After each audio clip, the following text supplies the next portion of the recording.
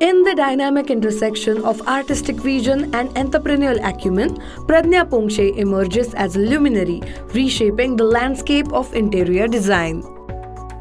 Graduating from Raheja School of Arts and earning a master's from Sir J.J. School of Arts, Pradnya's journey began as a fine artist. Today, she stands as the founder director of Trimit Rachna and Her Highness. Trimit Rachna, founded in 2010, is not merely an interior designing company. It's an embodiment of Pradnya's passion for bringing spaces to life. With an impressive clientele, including Fortune 500 companies and eminent Indian organizations, Pradnya's commitment to aesthetic excellence and timely project delivery has positioned Trimit Rachna at the forefront of the industry. However, her impact extends beyond the corporate spaces. In 2019, Pradnya birthed Her Highness, a unique endeavor to provide safe and affordable homes for women.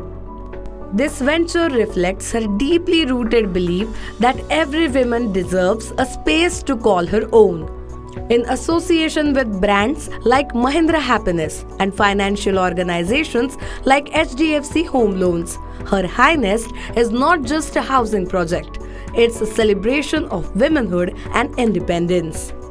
Her Highness aims to build 1,000 homes for women, a testament to Pradnya's unwavering commitment to making a positive impact on society. She was also elected as the head of Women Wing of Maharashtra Chamber of Commerce.